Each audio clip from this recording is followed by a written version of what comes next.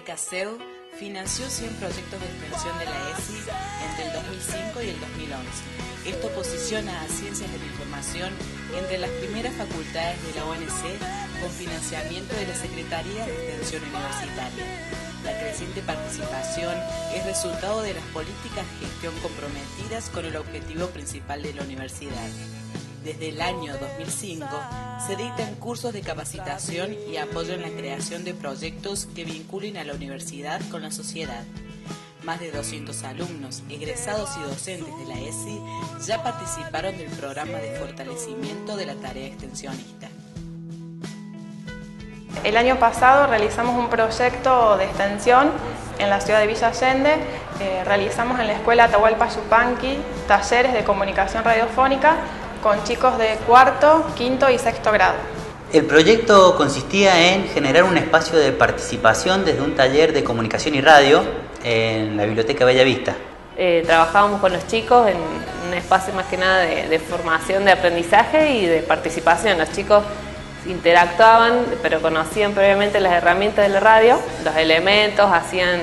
prácticas en el aula, con spots radiofónicos, grabamos aprendiendo a utilizar el micrófono, hacemos ejercicio de locución. La idea central del proyecto es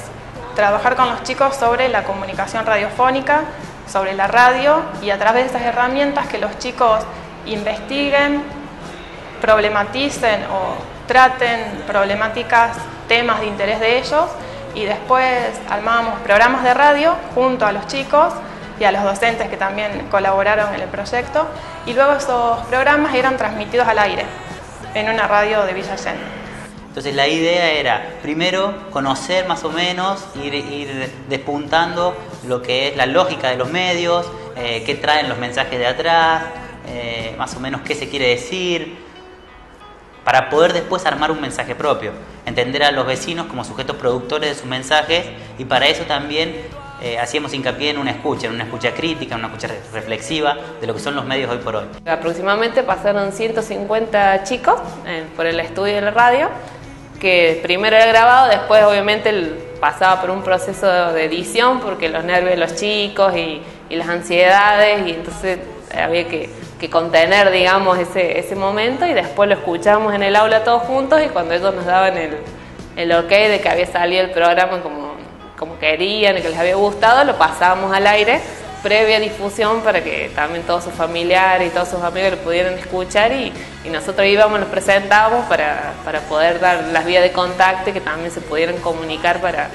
para dejar saludos y de, cierta forma hacer la, la, extensión en la comunidad de un modo más concreto, digamos. La extensión para nosotras y desde donde pensamos el proyecto es un intercambio de saberes, es decir, nosotros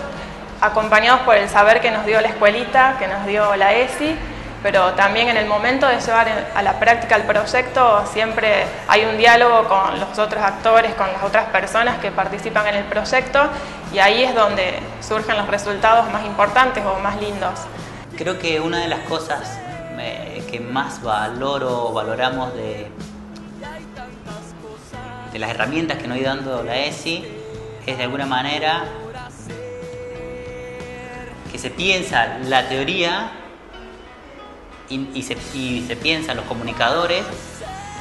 como parte activa dentro de una sociedad que se viene construyendo. Creo que nos permite que ese conocimiento o esa, eh, esa experiencia que recopilamos en la, en la escuela pueda ser trasladada a los espacios de trabajo cotidianos te da la herramienta de, poder seguir adelante a pesar de las distintas cuestiones que te van pasando y, eso es lo que más se valora, digamos. Y además que nosotros somos comunicadores en mi caso institucional y este es un proyecto de radio y es en una escuela y uno igual con todo el aprendizaje que tuvo lo, te podés adaptar, podemos hacer taller gráfica, de radio, de, es como que te abre mucho las puertas, pero ten uno en poder organizarlas y llevarlas adelante, digamos. Para nosotros la extensión universitaria de alguna manera refleja esa tensión entre la universidad y la sociedad, ¿no? Como que es ese espacio que pretende estar pensándonos todo el tiempo, pensándonos como universitarios dentro de una sociedad y desde ahí trabajando con la sociedad. Y ese nuevo aprendizaje que se genera en este intercambio, nosotros también consideramos la extensión cuando lo podemos compartir con la comunidad, cuando sale desde las, desde las instituciones que están involucradas hacia la comunidad también. Creo que la extensión la vemos de ese lado, un intercambio de, de conocimiento que puede ser también crecimiento para todas las partes que estamos interviniendo, digamos.